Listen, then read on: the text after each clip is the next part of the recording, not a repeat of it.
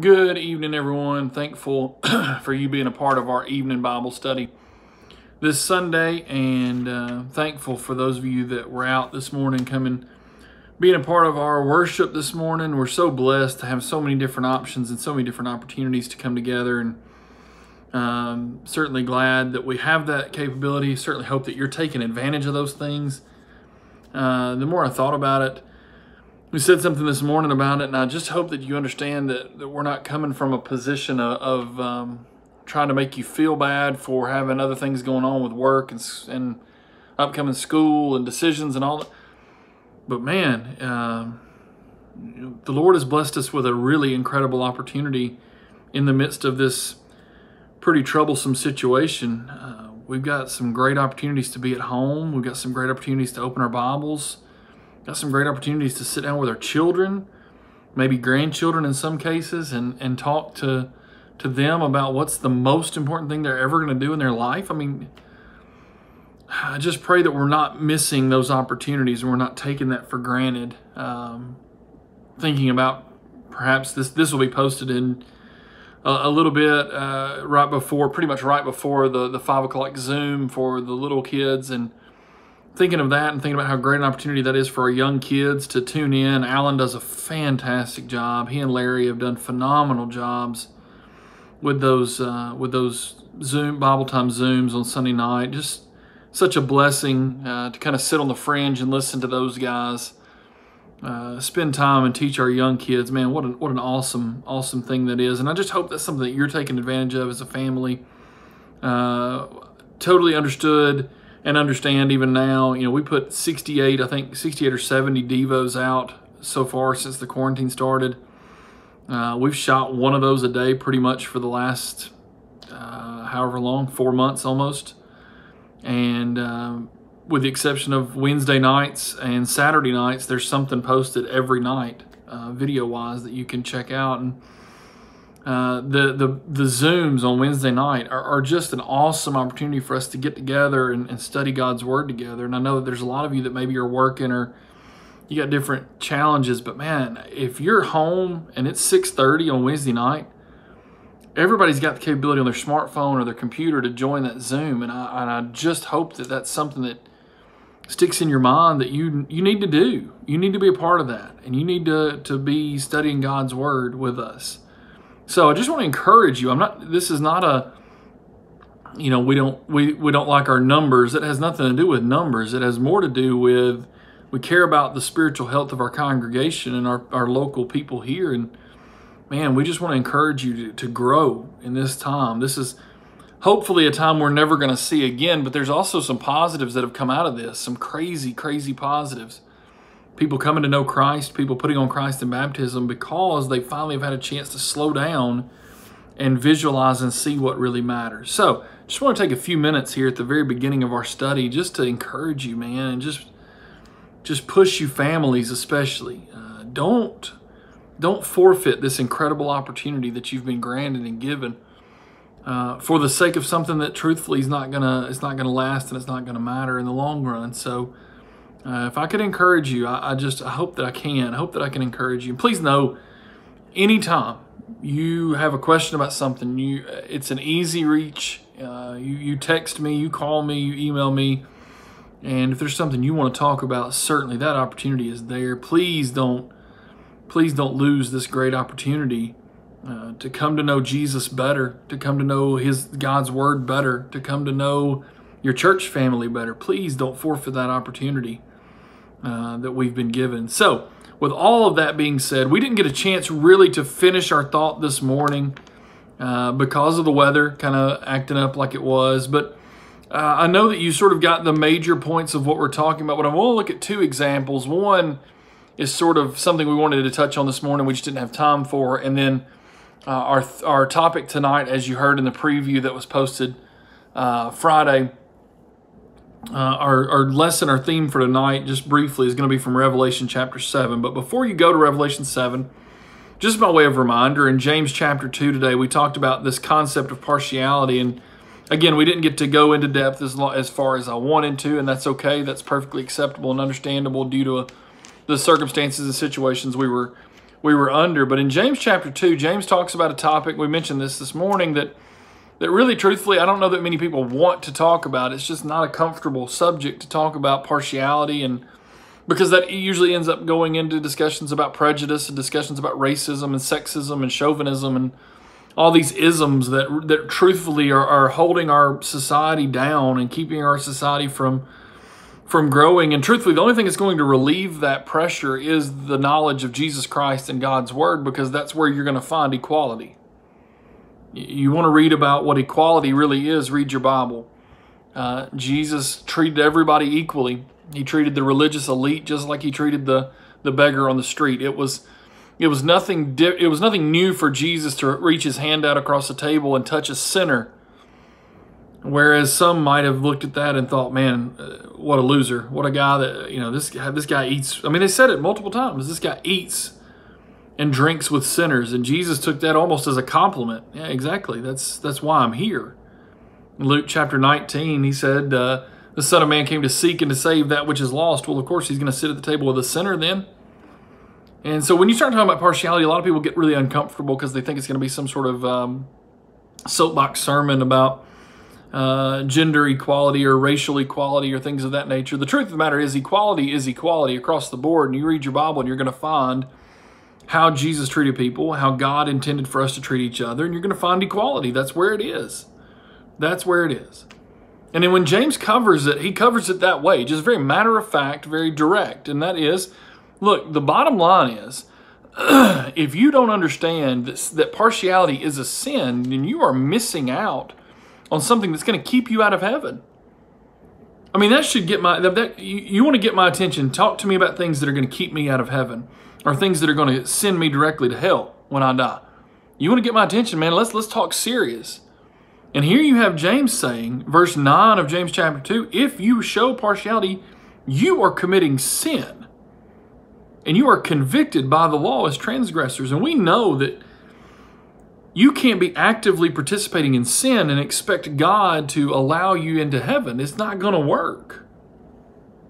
It's not going to work.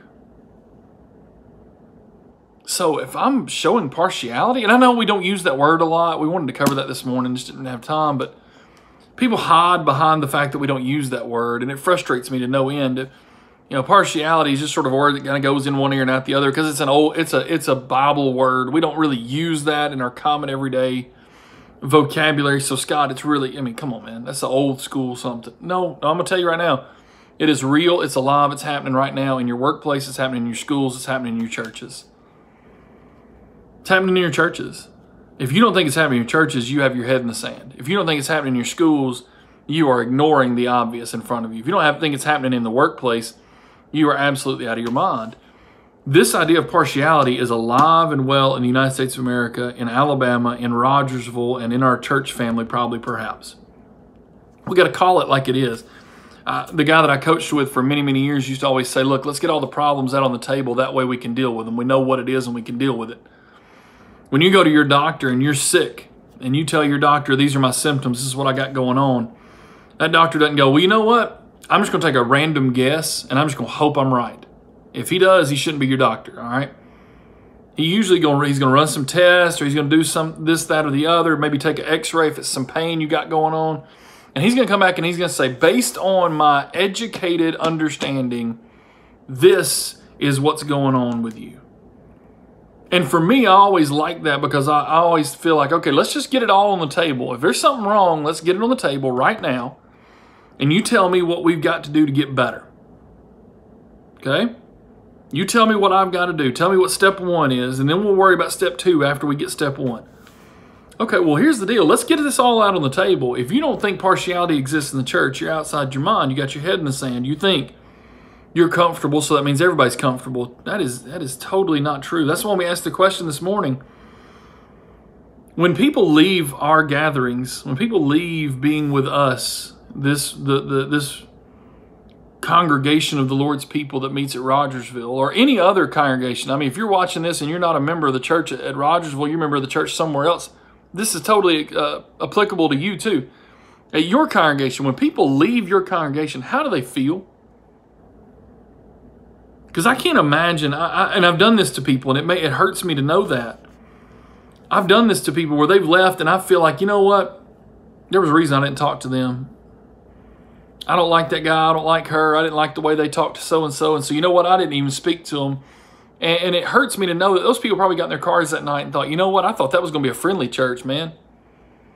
That guy that got up there and preached, man, he didn't even shake my hand. He didn't say hello to me. He didn't he didn't even act like he wanted me there. As a matter of fact, he acted like he couldn't wait for me to leave. I must not be worth as much as the guys that go there all the time. I mean, it just hurts to think that I've done that to people, but I know I have. I know I've heard people say, "Look, and we're all guilty of this. Let's just again, let's get all the part, let's get it all out on the table. Let's just go ahead and deal with it." I know I've been guilty of somebody says they go to a particular congregation of the Lord's people, and I go, ooh, mm. that's a shame, you know? I ought to be ashamed of myself. They go to such and such church. Mm. Yeah, well, you know what that church is all about. I mean, who am I? What gives me the right? The one that drives me crazy and which I have committed and it drives me absolutely up the wall is when I've never been there and I don't know anybody from there except maybe one person and I make a, a rash judgment about the entire congregation based on one person and my dealings with that one person. That's absolutely foolishness. So I've shown partiality and I'm sure that if you really, really take this seriously, you have too.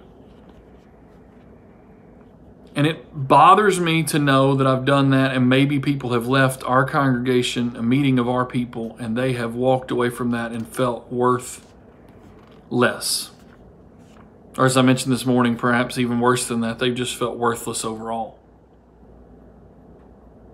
It's heartbreaking to think about, it's painful to think about, but it has happened. And we have to own it, we have to admit it, we have to, to deal with it. I'm going to tell you what stepped on my toes is, and I want you to take your Bible right now and go to Acts chapter 10. This should be a fairly familiar passage to you. Acts chapter 10. This begins in verse 34. Peter's had a little bit of trouble with a vision that happened to him, and God's kind of put him in his place. God said, Don't call anything that I've made clean unclean. And Peter finally kind of gets the message and he shows up and he, goes to do some teaching there in Caesarea, and Cornelius you know, kind of falls all over him. And Peter says, wait a minute, you know, this, I'm, I'm just a man, you know, I don't deserve any special preferential treatment. I'm just a man. And then when Peter stands up to preach to these Gentiles, listen to what he says. This begins in verse 34, Acts chapter 10, beginning in verse 34. So Peter opened his mouth and said, Truly I understand that God shows no partiality. Okay, pause just for a minute. Let me ask this question that seems very obvious, but unfortunately, Scott doesn't listen a lot of times. If God doesn't show any partiality, then how can Scott show partiality to anybody? Doesn't make a lot of sense, does it? That's like this thing that I've used for forever. That that's like saying two plus two equals five. It doesn't make any sense. It's foolishness. It doesn't matter if I bang my fist on the table and scream and holler and raise my voice and make a big show. Two plus two is never going to be five ever. This just makes perfect sense. If God doesn't show partiality, then what gives me the right? What, what makes me think that I can? If Peter stopped there, it would be a good enough lesson and stomp all over my toes anyway. But he goes on and he makes his point even further. Verse 35 But in every nation, anyone who fears him and does what is right is acceptable to him. Okay, Scott, that means that you don't get to play judge, jury, and executioner when people want to come to church. Scott, that means that you can't sit on the sidelines when somebody says they want to become a Christian. You say, mm, I don't know about them. I don't think they're going to make it. Mm, how dare I?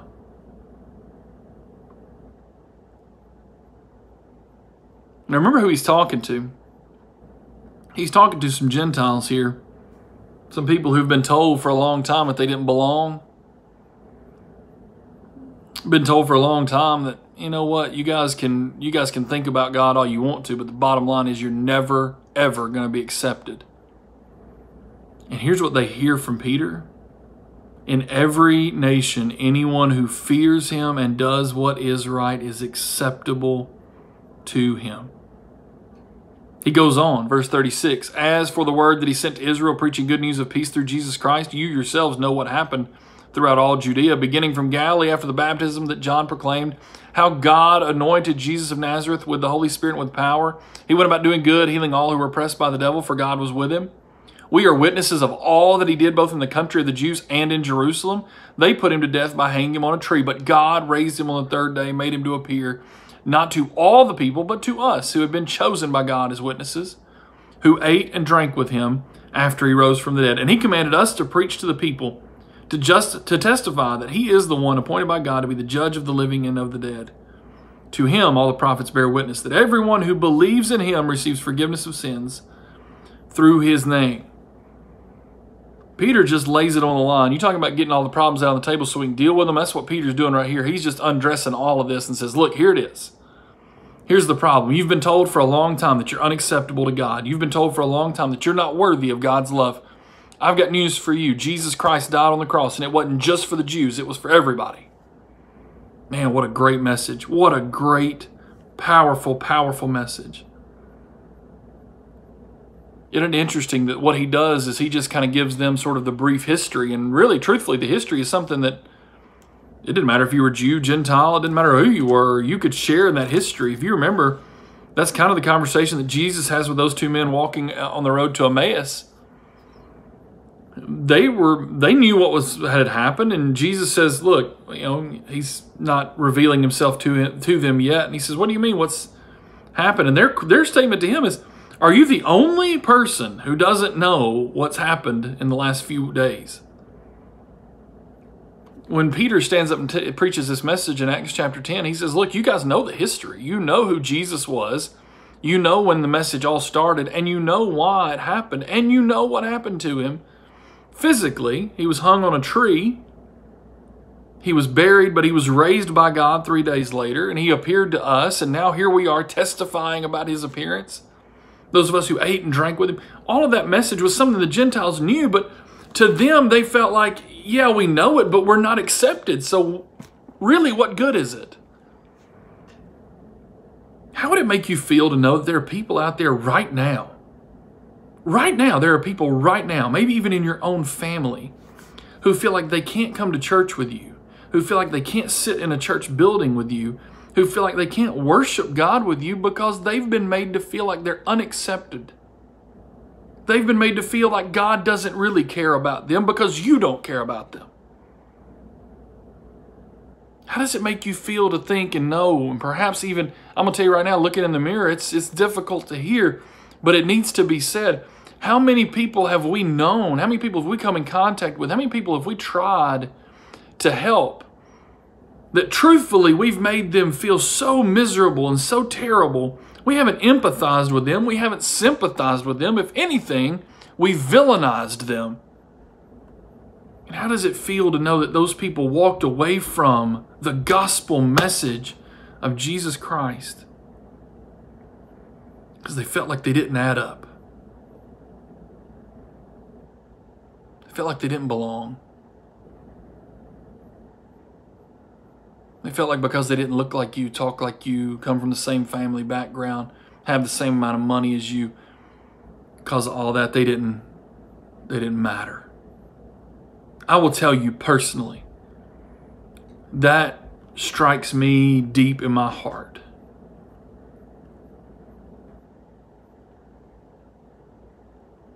You got your Bible, turn there to Revelation chapter 7. I want to make just a couple of quick points as we close this time of study together. I want you to be challenged. I don't. There's this fine line that, that, that preachers have to walk, just to be honest, if I can just be totally transparent with you. There's this fine line that sometimes what, when, what we mean is encouragement gets taken as chastising or uh, ranting or something of that nature. Please know that, that what I'm telling you right now has is not done in any sort of way to make you feel guilty or to make you feel uh, like you're worthless or anything like that. It's just something that we don't like to talk about because it makes us feel bad. So we need to acknowledge that and we need to deal with it. And that's why we're talking about it. It's always good to talk, not just hold stuff in. And in Revelation chapter 7, I love this passage because I love the fact of what it tells me about eternity. Revelation chapter 7, this begins in verse 9. After this I looked, and behold, a great multitude that no one could number from every nation, from all tribes and peoples and languages, standing before the throne and before the Lamb, clothed in white robes, with palm branches in their hands, and crying out with a loud voice, Salvation belongs to our God, who sits on the throne, and to the Lamb. And all the angels were standing around the throne, around the elders, the four living creatures. They fell on their faces before the throne and worshiped God, saying, Amen. Blessing and glory and wisdom and thanksgiving and honor and power and might be to our God forever and ever. Amen. Listen to this now. Then one of the elders addressed me, saying, Who are these, clothed in white robes, and from where have they come? I said to him, Sir, you know. And he said to me, These are the ones coming out of the great tribulation. They have washed their robes and made them white in the blood of the Lamb. Therefore, they are before the throne of God and serve him day and night in his temple. And he who sits on the throne will shelter them with his presence. They shall hunger no more, neither thirst any more. The sun shall not strike them, nor any scorching heat. For the Lamb in the midst of the throne will be their shepherd. He will guide them, them to springs of living water, and God will wipe away every tear from their eyes. And I emphasizes emphasize the words there and them because if you notice, when John ex- describes them, he says they're from every nation, from all tribes, peoples, languages. They're all wearing the same getup in this particular deal, clothed in white robes, verse 9 says, palm branches in their hands. But when this elder here, verse 13, one of the elders that addressed him, speaks about these people, you notice he doesn't say anything about their nationality, he doesn't say anything about their language, he doesn't say anything about what uh, tribe they're from or what people they're from. He refers to them as a collective, they and them and their. Man, I'm just going to tell you here's the deal. When this life is over, those who are acceptable to God, those who have done what the Bible says you have to do to become a child of God, we're all going to go to heaven together. You're not going to stand in heaven and say, you know what, I don't like that guy over there. I don't like that woman over there. They went to this church when we were on earth, and I didn't like that church, and I didn't like that preacher, and I don't know why. You're not going to do any of that. I can tell you that right now. But I can promise you this you continue down that path with that attitude, and you won't have to worry about whether or not you like everybody in heaven. Because you won't be there. Now, that's a wake up call for me. I hope it's the same for you. All my concerns and worries, and I'm angry at so and so, and I'm mad at so and so, and I don't like this person, Not this person was ugly to me once upon a time, and I told them I forgave them, but I hadn't let that. All that stuff, all that is is an anchor keeping you from where you need to be. It's just holding you down, holding you back. Be challenged by this right here in Revelation chapter 7. I want you to look at this and I want you to pay attention to all the good that comes out of us being together. We serve a God who is willing. Look at this now. He was he's going to be their shelter verse 15. He's going to provide them food and drink. They'll hunger no more, they'll thirst no more. The sun's not going to strike them. There's not going to be any scorching heat he's going to be their shepherd, verse 17. He's going to guide them to springs of water, and he's going to wipe every tear away from their eyes. Man, that's the place you want to be, isn't it? I can guarantee you it's a place I want to be. And one of the things that I have to be really careful about, one of the things I have to be really cautious about, is I can't be showing partiality. I know it's a word you don't necessarily use. How about this? You can't be bigoted. You can't be prejudiced. You can't be racist. You can't be sexist and expect to go to heaven. That's just the bottom line. If you're living that way, you need to change, and you need to change now before it's too late. Go before God broken, understanding that He created you along with everyone else in His image.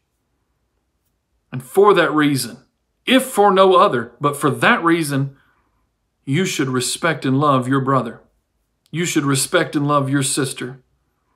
You should love your neighbor as yourself. When Jesus looked in the eyes of that lawyer in Luke chapter 10, and that man had some hate in his heart for, for the Samaritans, especially. And Jesus said, Which one of these was the neighbor? Which one of these three was the neighbor? And that man couldn't even stomach to say the Samaritan. He just said, The one who showed him mercy. You see, he was known in that story, the Samaritan's known for mercy, just like James chapter 2 and verse 13. Mercy triumphs judgment. Even in that day, in Luke chapter 10, it triumphed the judgment of this lawyer. But the problem was, Jesus said, I know that you haven't been doing that. You know how we know that he said that? Earlier in the same in the same conversation, when he asked him what the what does he understand to be the two or what what do you understand to be the, the law how to inherit eternal life he said love the lord your god with all your heart soul mind and strength love your neighbors yourself and jesus said you have answered correctly do this and you will live apparently he wasn't doing something by the end of the, the section we know exactly what he wasn't doing because when jesus says who was the neighbor he says the one who showed him mercy and jesus says correct now go and do likewise that's the challenge for us. This weekend has been all about Luke 10. On Friday evening, that's what we talked about. Go and do likewise. Our sermon this morning, man, straight out of James 2. I mean, right in your face, right in my face. Don't show partiality. Don't fall into that trap the world tries to throw at you where you have to judge people and, and separate people and divide. Don't fall into that trap. And then tonight, man, we're all going to go home together. And if you're one of these people that has these these hateful thoughts in your mind, man, you need to deal with that now, right now. You need to deal with that right now before it's too late. We all need to go and do likewise. I hope you're encouraged. I hope you're challenged. I mean, it's been challenging to me, I'm going to tell you. Very challenging to me to consider have I really loved my neighbor or have I just tolerated people and acted like I love them, but I'm not really fulfilling what God expects me to do. It's been a challenge, and I hope it's a challenge for you. We look forward to our studies, of course, each evening coming up this next week. Wednesday night, certainly. Our Zoom at 6.30, and uh, hopefully you'll be able to join us for that and be a part of our devotional series. And, of course, we look forward next Sunday morning at 8 a.m. in the parking lot. Hope you all have a wonderful evening.